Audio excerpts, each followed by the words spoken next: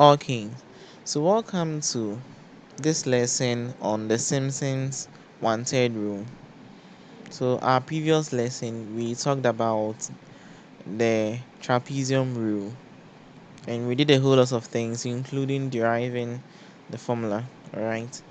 And that's the same concept you are going to use here, except that here we are going to approximate the integral by a second order polynomial. So we wouldn't do much proof here, okay? We are going to use the understanding from what we discussed earlier. So the Simpson's one-third rule is an extension of the trapezoidal rule where the integrand is approximated by a second order polynomial. So we approximate this integrand here with a second order polynomial f2 of x and the second order polynomial is given of this form a naught plus a1x plus a2x squared right? Mm-hmm. so you know that we have three points here. Okay. So we need three points here in order to compute um the single segment right? Because a second order polynomial so we need three points. You know when it is a first order polynomial we need just two points. But when it's a second order polynomial we need two points. So you can see that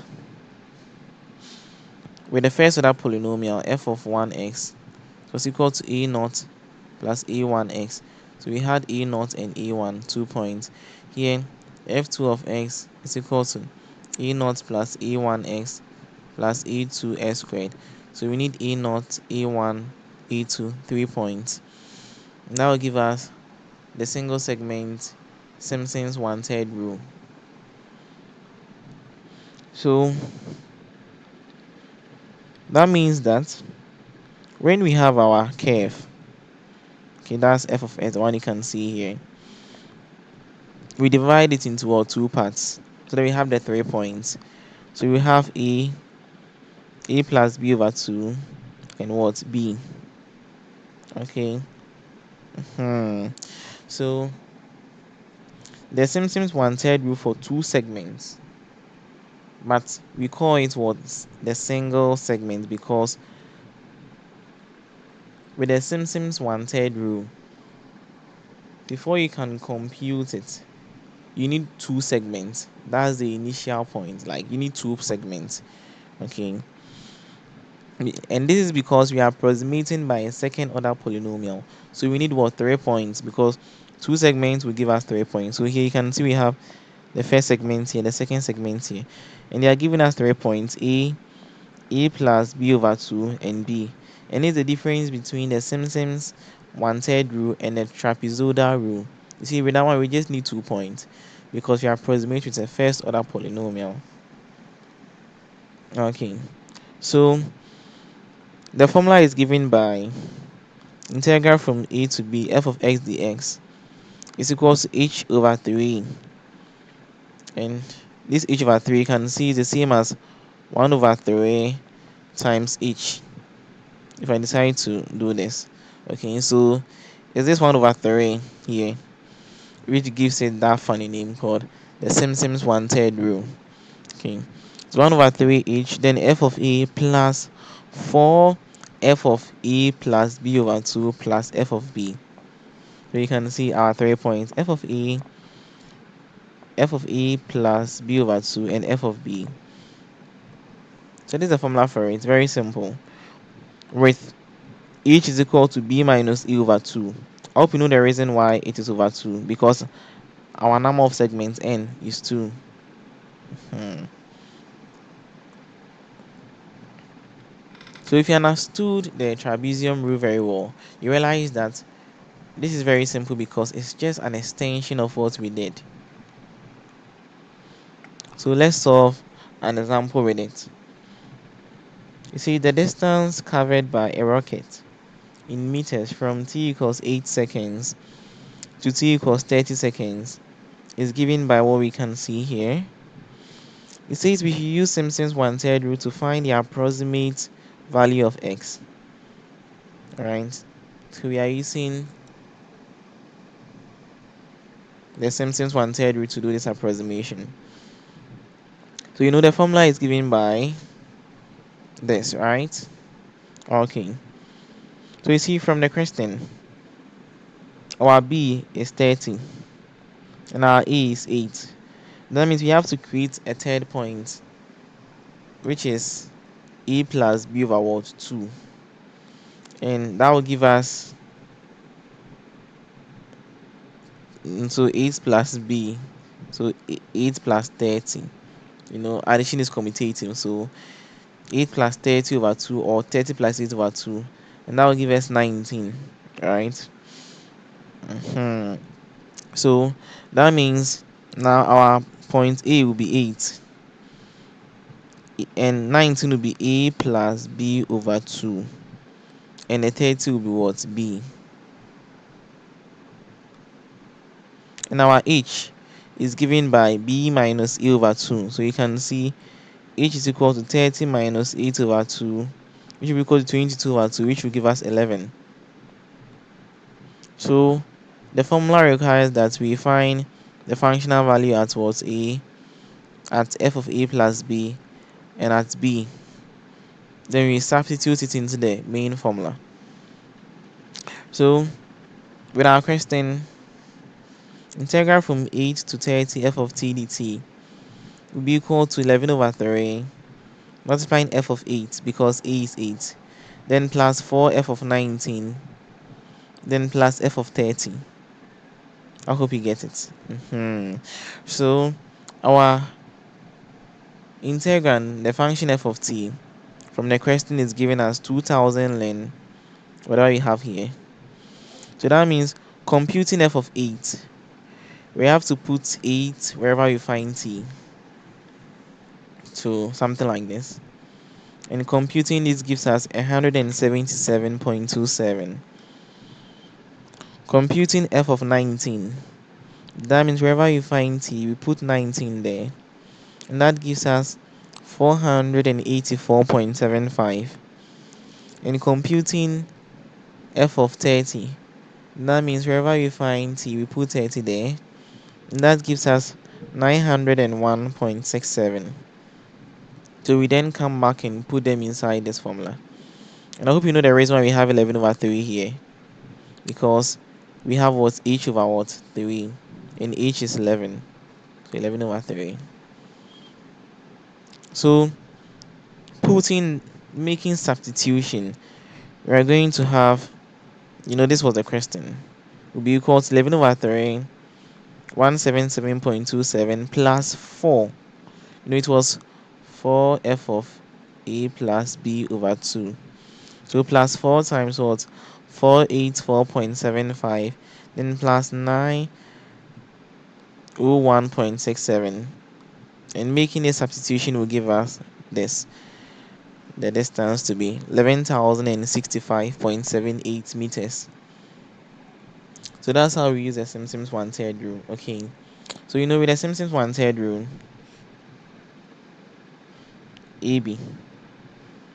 we create another point here, let's say C. And this is just two segments. And for the Simpson's one third, this is what we call the single one. So we can have multiple ones. And with the multiple ones, that is when we divide the interval AB into n equal parts where n is even. And n starts from what? 4 then we have 6 8 because when n is 2 we have the single one. Do we get it? So this sends us to what? The multiple segments for the Simpson's one third rule. This is just like in the multiple segment trapezoidal rule one can subdivide the interval AB into n segments and apply Simpson's one-third repeatedly over every two segments. Note that the n needs to be even. And note that if n is equal to 2, then we have the single segment Simpson's one-third. We've done that. That's what we did, right? So we divide the interval AB into n equal segments so that the segment width is given by h equals b minus a over n so where n is even so start from 4 6 8 2 whatever right so we use the formula below to compute the integral so the integral from a to b f of s ds is equal to b minus a over 3n f of x naught plus 4 f of xi where in this case the i starts from 1 to n minus 1 and the i is what odd. Okay. Then we have plus 2 f of xi and here our i's are even. So they start from 2 to n minus 2 then we have f of xn which is the last term. Okay. So for instance when our n is equal to 4 that means we have b minus a over 3 times 4 then f of x naught plus 4 times f of what x1 plus f of what x3 because those are the odd terms. Then plus 2f of what x2 then plus f of x4 so when we have n is equal to 4 this is how we expand this formula. I hope you get it. So you can do it when n is 6 n is 8 it's very simple so let's take this example to explain things. So it says use four segment simpson's one-third rule to approximate the distance covered by a rocket in meters from t equals 8 seconds to t equals 30 seconds as given by so this is x